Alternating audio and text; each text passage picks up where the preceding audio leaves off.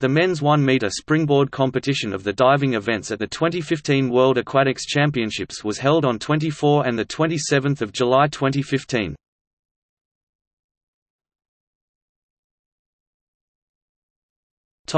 Results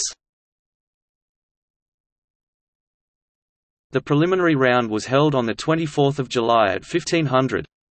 The final was held on 27 July at 1500. Green denotes finalists.